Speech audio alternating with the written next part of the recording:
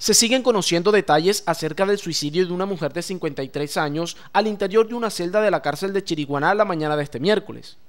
RPT Noticias conoció que Iris Cristina Soto Mejía habría dejado una carta en la que pedía perdón a los familiares de su ex compañero, escrito en el que también manifestaba que iba a suicidarse. Los hechos se habían registrado en una de las celdas de la cárcel municipal ubicada en la carrera 6, número 3460 del barrio Las Mercedes, lugar en donde fue hallada con una cuerda plástica atada a su cuello y amarrada a una de las vigas del techo Iris Cristina Soto, quien permanecía recluida en ese centro carcelario luego de que un juez le dictara medida de aseguramiento por supuestamente haber asesinado con armas de fuego en julio de 2016 a su ex compañero sentimental Julio Castro Royet. La víctima mortal era oriunda de la ciudad de Riohacha.